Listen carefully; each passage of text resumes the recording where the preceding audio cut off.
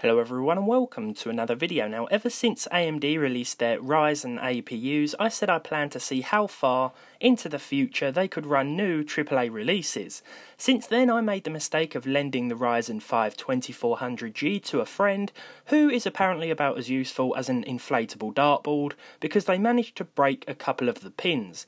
So until I can find a replacement it's all about this, the Ryzen 3 2200G. With the Battlefield 5 beta now in full swing, I couldn't resist the chance to see if our budget focused friend here could run the game with respectable performance. While the final version of the game may differ in terms of performance, this should give us some idea of what we might be able to expect come November. Now, because I believe anyone who is opting for one of these APUs will be on a tighter budget, I've paired mine with 8 gigs of 2400 MHz RAM, which here in the UK at least can be found quite a bit cheaper than the faster clocked memory. Not only that, but I wanted to focus more on a worst case scenario type situation, sort of like if it's playable on slower RAM, then it'll only be better on the faster stuff. So enough chit chat, let's take a look at how Battlefield 5's open beta runs on an entry level Ryzen CPU with integrated Vega 8 graphics.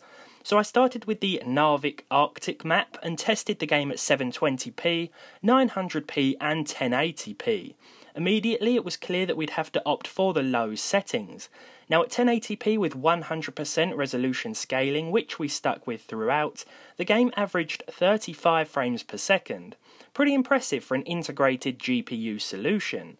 There was some stutter though, as represented by random moments of slowdown, but these didn't happen too often, and if I'm being honest, I think 1080p is a little too challenging for this configuration, unless you were to either turn down the resolution scaling or just the resolution. So that's what I did. At 900p, things felt quite a bit smoother with an average frame rate of 43.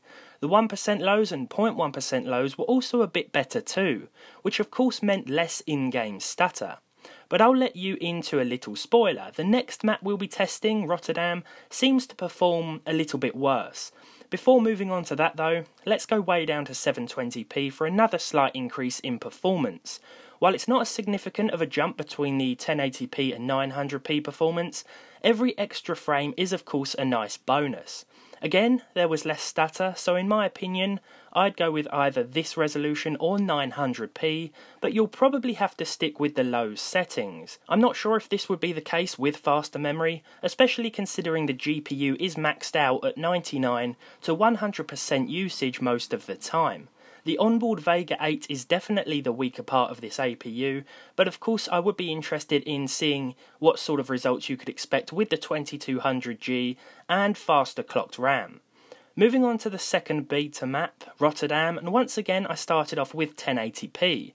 Here we barely touched on 30 frames per second as the average, and there were quite a few more frame drops, which isn't surprising considering that this map is comprised of a more built up layout.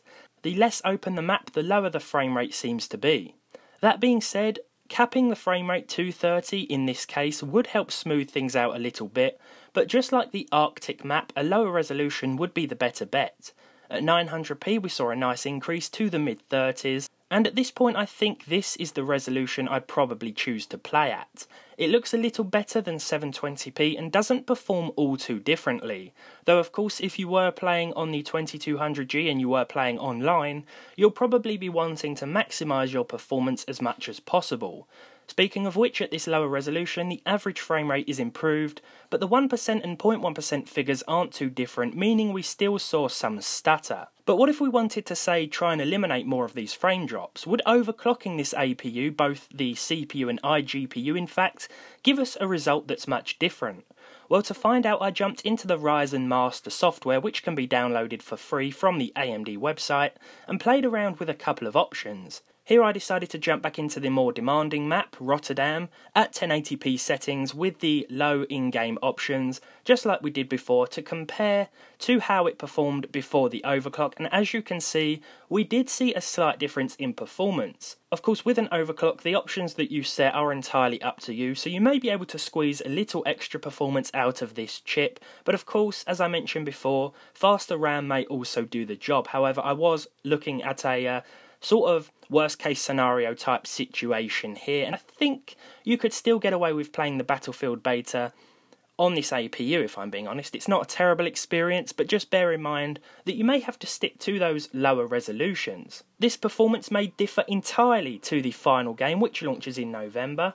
So we'll just have to wait and see, and uh, hopefully I'll have another Ryzen 5 2400G by then as well, and we'll be able to make the comparison once again and see how the final release performs with an integrated Vega GPU. So there we have it. Now also remember that uh, you will need a more expensive B350 board to overclock the Ryzen APUs, but I think this one still did a pretty respectable job at the stock settings. So as for this video, thank you for watching. If you enjoyed it, leave a like on it, leave a dislike if you didn't, subscribe to the channel if you haven't done so already, and hopefully I'll see you all in the next one.